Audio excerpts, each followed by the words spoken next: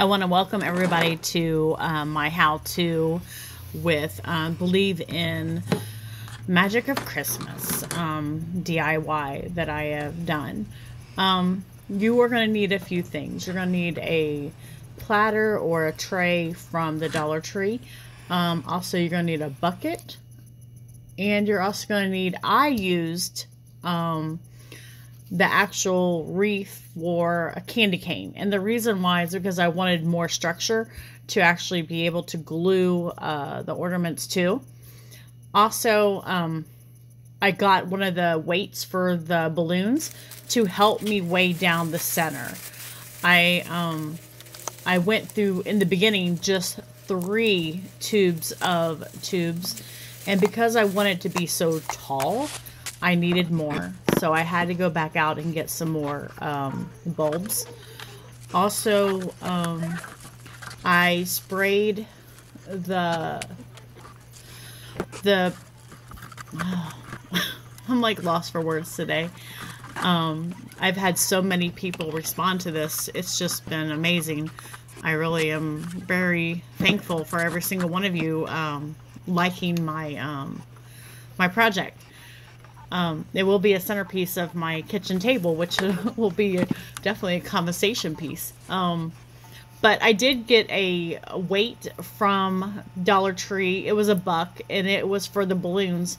And I took it apart and took off the black because I really did not like the fact that um, you could see the black. It would camouflage. So I actually um, wrapped it inside of a bag and put it in the middle, and I weighed it down. I bent the um, the wreath of the candy cane to the level and the scale I wanted it.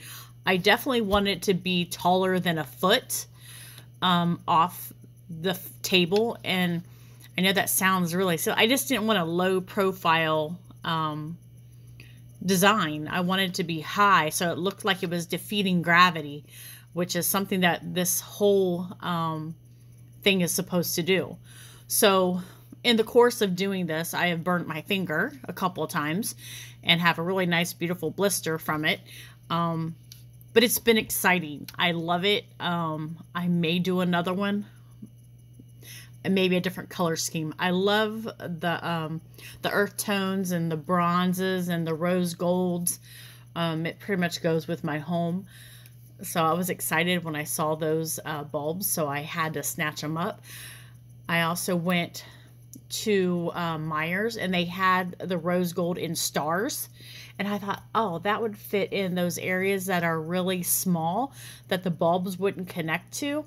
So I figured fitting those in in really weird areas would make it fit in better. So I thought different bulbs is perfect, a different size, a different um, look, as long as it stayed within my color scheme I was looking for.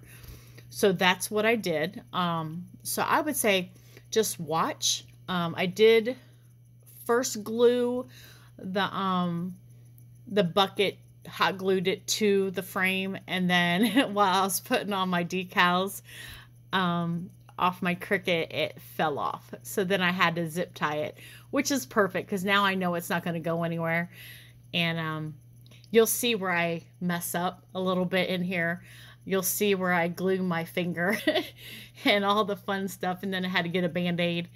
Um, but this was a great experience and I really enjoyed it. And I would do it again if I had to. Um,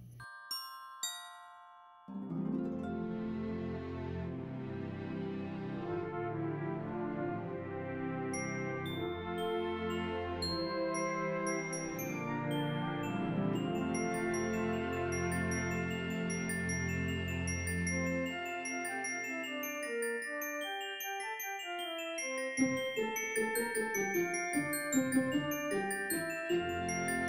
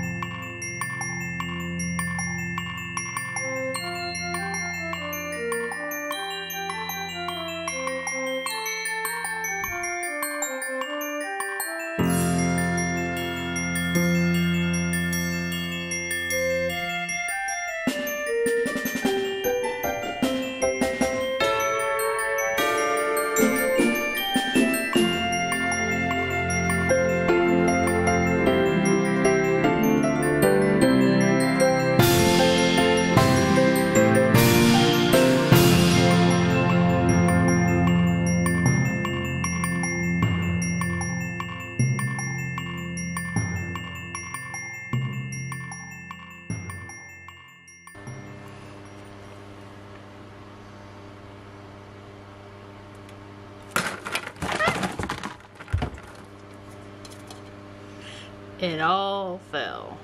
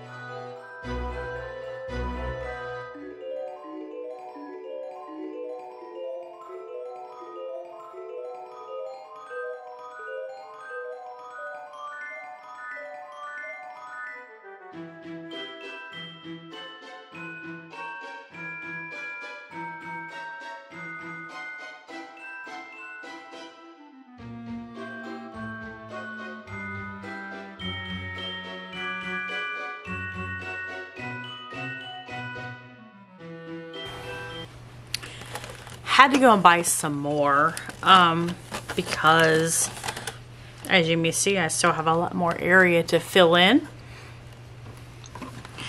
And I had to zip tie the basket on. And I'm also going to apply a little bit of glue as well. Um, but I had to go and buy some more ornaments.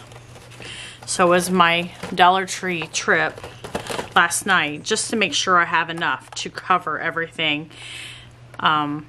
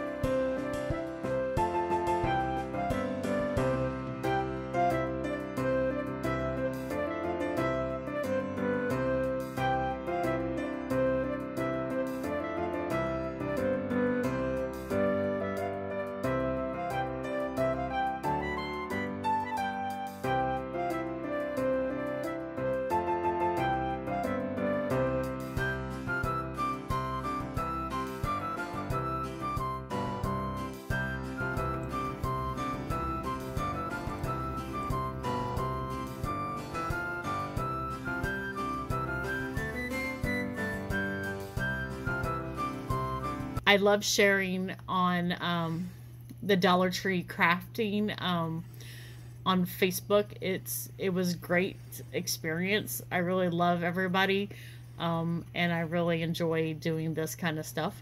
So I will do more um, challenging things because I love I love doing that kind of stuff. So thank you very much for watching. I really appreciate everybody that has responded, and um, Let's believe in the magic of Christmas. Have a blessed holidays. Thanks, everybody. Bye bye. Hi, my name is Robin, and this is Coco. This is our 50th cut. Please like and subscribe to our channel. We'd really appreciate it. Please comment below. That way she don't have to do this no more. Okay.